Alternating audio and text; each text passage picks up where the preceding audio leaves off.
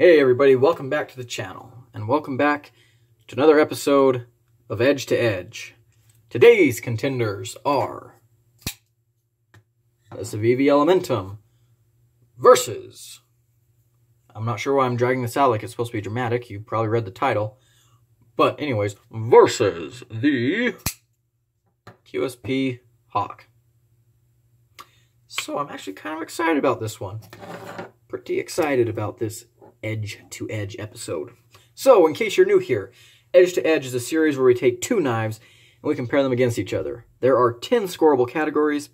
Each knife gets a point for every category they win in. Ties are possible. At the end, we add up all the points and we see if we have an overall winner. So, let's go ahead and let's jump right in with these two knives. Our first category is the blade. So, on the QSP, we're looking at a nice little drop point blade made of 14C 28N. Ground very well. And here, uh, this is actually a flat grind or a, a saber grind. So it has this little bit up here. Saber grind. grind. And here on the Elementum, we have a D2 blade that's ground very, very thin, hollow grind. Uh, and it's a spear point. So, both these knives are excellent, excellent performers, but I'm gonna have to give them a tie, and, and here and here's the reason why. Um, because I, I could have given the win to the uh, to the Civivi because you can get a bunch of different blade steels, D2, S35VN, Damascus, with the Civivi. But I really do think the QSP has a very, very nice blade, and sometimes flat grinds are good to have. Um, they're both very thin. They both slice very well.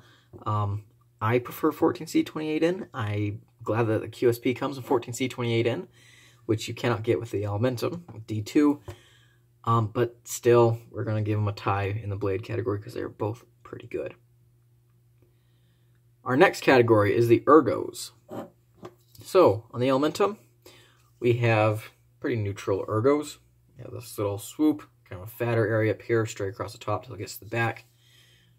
Pretty comfortable. You have this little area that I can choke up in at least a little bit. A little bit scary, but I can get up in there. On the, uh, not Pelican, Hawk. Why do I always want to say QSP Pelican? I've never owned a Pelican. very comfortable. Very, very comfortable. Uh, these edges are nicely rounded. This little area here gives you a spot to put your finger. You can choke up like that. Get in here like this. This choil too, I can get the first part of my finger in pretty comfortably. I'm going to give ergos to the QSP for, for the reasons I just mentioned. Uh, it does have a more filling grip. Um, as you can see, it is thicker than the Elementum. Uh, and this micarta here is really nice. You can get the Elementum in different handle materials, but um, I do think that the QSP has better ergonomics than the uh, Civivi. Our next category is materials. This is where we take into consideration the materials used in the construction of the knives, obviously. So we've already gone over blade steel, 14C28N, which actually I forgot to mention with the blade, you can, or at least you used to be able to get the QSP in S35VN and um, Damascus as well. I forgot to mention that when I was talking about blades which is why it won. Anyways, um, for materials, we're going to go ahead and give them a tie. Um, and the reason is because, like I said, there's just so many different versions. With the Elementum, you can get in all kinds of different colors of G10, wood handles, carbon fiber, blade steels, S35VN, D2, Damascus. The QSP, you can get a bunch of different colors of uh, micarta, which I do prefer over G10. You can get colors micarta for the Elementum too. Um, I do like this micarta quite a bit though. Uh, you can get wood handles, carbon fiber handles, I think some G10 handle versions, S35VN blades, 1428N, and Damascus. So materials, they tie. They, they tie on materials 100%. They're, they're both they're both very good.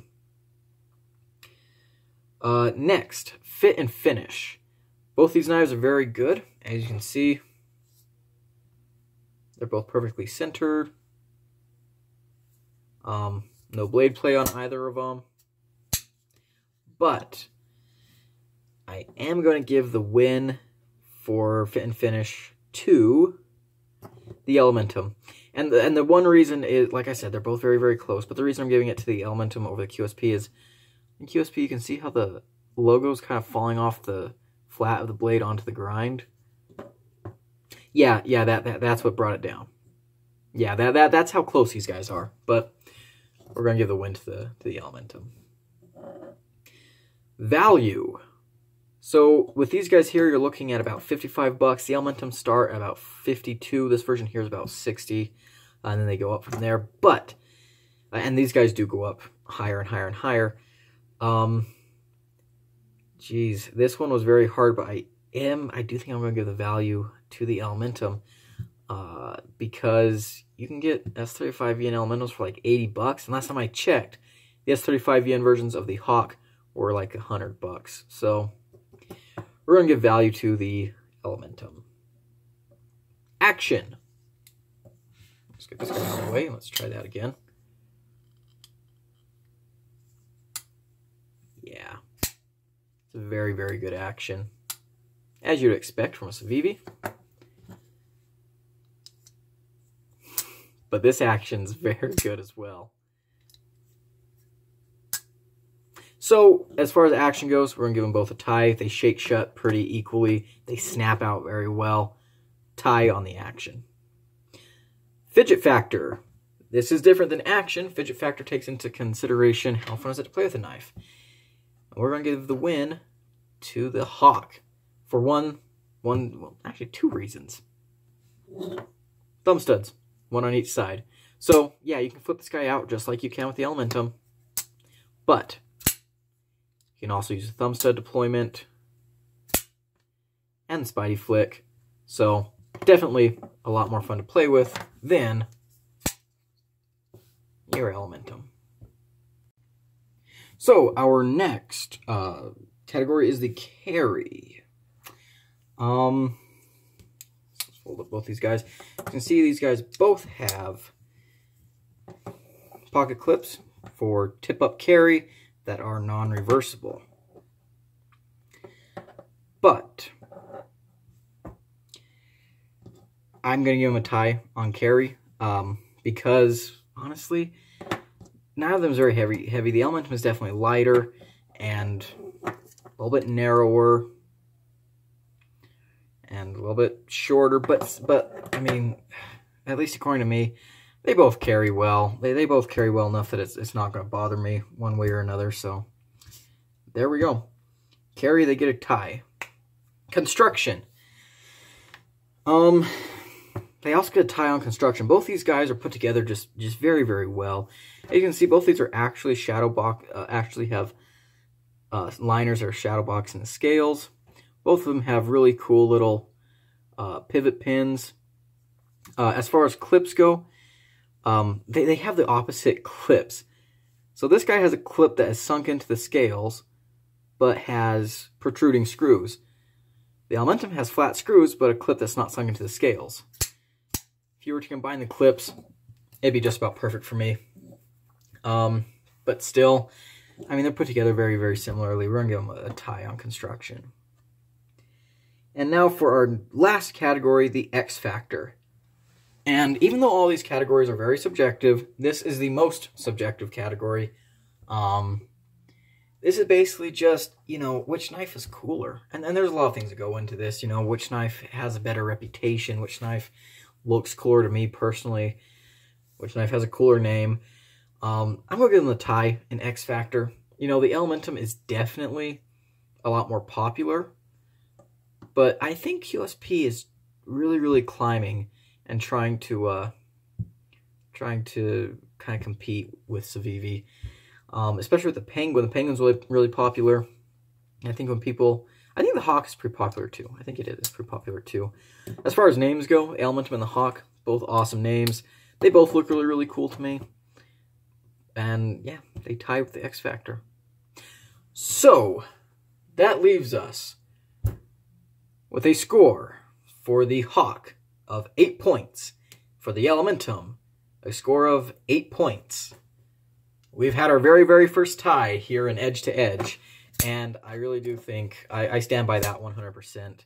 These knives are both very similar and very good. Very recommendable. Very dependable. Very classy and just great small EDC knives. And with both of them, you can really get pretty much anything you want. There, there's a few more variants with the Elementum, but I mean, you want to go fancy, they both have fancy versions. They both have S35VN versions. They're just great knives. They have inexpensive versions, more expensive versions. They perform well. You, you can't go wrong with either of them. And that's all I've got to say about it. Thank you for watching. If you liked what you saw, like, comment, subscribe, and uh, I will see you in the next video. Gideon out.